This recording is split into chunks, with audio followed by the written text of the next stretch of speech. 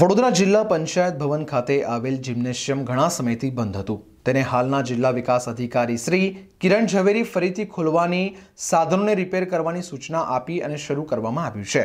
જિલ્લા વિકાસ અધિકારીએ જણાવ્યું હતું કે, વડાપ્રધાન દ્વારા ફિટ ઇન્ડિયા મુવમેન્ટ ચલાવવામાં આવી રહી છે. ત્યારે અને આ શિયાળાની ઋતુ પણ હોય, આ ઋતુમાં પોતાના શરીરને લોકો કસરતથી સ્વસ્થ બનાવી શકે તે હેતુથી આ જીમ શરૂ કરવામાં આવ્યું છે. કર્મચારી વહેલી સવારે આવી, બપોરે લંચ અથવા તો સાંજે છૂટ્યા પછી આ જીમનો ઉપયોગ કરી પોતે સ્વસ્થ રહી શકે તેવી શુભકામનાઓ સાથે અપીલ કરવામાં આવી હતી.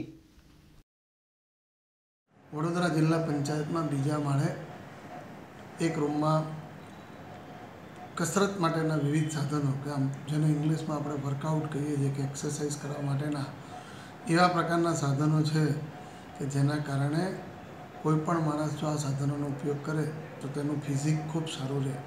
હાલમાં માન્ય પ્રધાનમંત્રી શ્રી દ્વારા ફિટ ઇન્ડિયા મુવમેન્ટ પણ બહુ જ નજીકના ભૂતકાળમાં શરૂ કરવામાં આવેલી છે.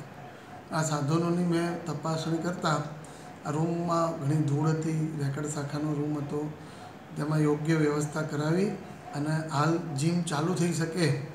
આ એટલું સુંદર જીમ નથી કે જે આપણે મહિને ત્રણ હજાર ને ચાર હજાર રૂપિયા ખર્ચીને લોકો મેમ્બરશીપ લઈને જતા હોય છે.